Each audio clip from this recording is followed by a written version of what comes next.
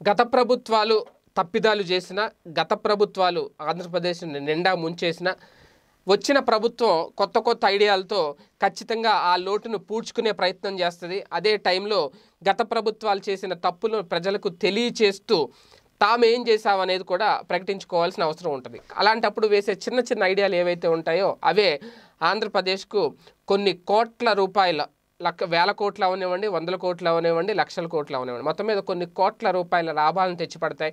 అలాంటి చిన్న ఐడియా జగన్మోహన్ రెడ్డి గారు వేయడంతో ఇప్పుడు కోట్ల లాభం చేకూరింది అనేది ప్రధానంగా వైరల్ అవుతున్న అంశం. అది ఏంటి అనేది ఒకసారి లోతుగా వెళ్తే మాత్రం ఎప్పుడైతే ముఖ్యమంత్రిగా ప్రమాణ స్వీకారం చేశారో వైఎస్ జగన్మోహన్ రెడ్డి గారు తొలి రోజుల్లోనే ఆయన రివర్స్ టెండరింగ్ అనే దాన్ని ప్రస్తావించారు తెర మీద తీసుకొచ్చారు. ఈ గతంలో కూడా నాకు తెలిసి ఏ ప్రభుత్వాలు ఇలాంటి ప్రయోగాలు చేయలేదు. రివర్స్ టెండరింగ్ చేసి ఇంతకు ముందు వేసిన టెండర్లు రద్దు చేసి కొత్త వాళ్ళకి టెండర్లు ఇవ్వడం అనేది. ఆ సాహసం మాత్రం జగన్మోహన్ రెడ్డి గారు చేశారు.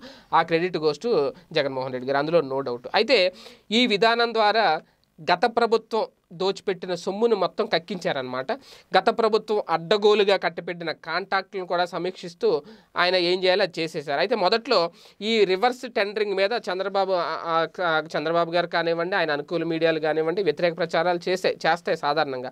అయితే ఇలా ఇలాగ రివర్స్ టెండరింగ్లు చేస్తే ప్రాజెక్టులు కట్టలేమని కాంట్రాక్టర్లు పారిపోతారని అలా ఇలా ఇవన్నీ చెప్పుకుంటూ వచ్చారు. కానీ జగన్ గారు మాత్రం ఆయన ఐడియాకు పదును పెట్టారు. రాష్ట్రానికి ఆయన ఐడియా ఎంత మేలు చేస్తుందని అనేది కూడా ముందుగానే సమీక్షించి రంగంలోకి దిగారు. అయితే అది ఫైనల్గా వర్కౌట్ అయింది. ఎందుకంటే ఒక్క టిట్కో ఇళ్ళ విషయంలోనే దాదాపు నాలుగు వందల కోట్ల రూపాయలు ఆదా అయ్యాయి.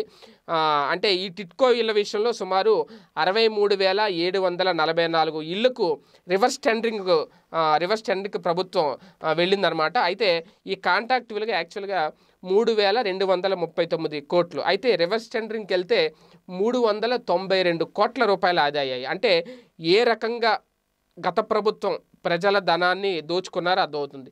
మూడు వేల రెండు వందల ముప్పై తొమ్మిది కోట్ల రూపాయలు విలువ చేసే కాంటాక్ట్ విలువను రివర్స్ టెండరింగ్కి వెళ్తే మూడు వందల తొంభై రెండు కోట్ల రూపాయలు ఆదా అయ్యాయి అయ్యాయి అంటే నిజంగా అది ఎంత లాభం ఆంధ్రప్రదేశ్కి అనేది ఇప్పుడు చర్చకొస్తుంది. ఎందుకంటే రాబోయే రోజుల్లో నాలుగు వేల నాలుగు వందల కోట్ల విలువైన డెబ్బై వేల ఇళ్ళకు రివర్స్ టెండింగ్కి వెళ్ళాలని చెప్పి ఆల్రెడీ ప్రభుత్వం నిర్ణయించింది. దాంట్లో కూడా దాదాపు నాలుగు వందల కోట్ల రూపాయలు ప్రభుత్వానికి ఆదా అవుతుందని చెప్పి అధికారులు లెక్కలేస్తున్నారు.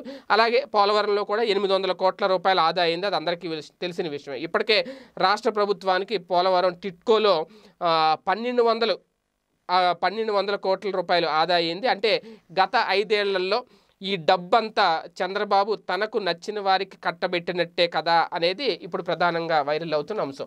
ఒక రకంగా ఇది జగన్ గారి ఐడియా. ప్రతి దాంట్లో కూడా రివర్స్ టెండరింగుల్లో వెళ్ళి గత ప్రభుత్వం మింగేసిన సొమ్మును బయటికి కక్కించడం ఇప్పుడు అలాంటి అక్రమాలకు అన్యాయాలకు పాల్పడకుండా నిజాయితీగా ప్రజాధనాన్ని వినియోగించుకోవడం అంటే ఒక్క రూపాయి కూడా దుర్వినియోగం కాకుండా వినియోగిస్తే రాష్ట్రానికి ఎంత మేలు జరుగుతుంది అనే దానికి నిదర్శనమే జగన్ గారి ఈ అద్భుతమైన ఐడియా.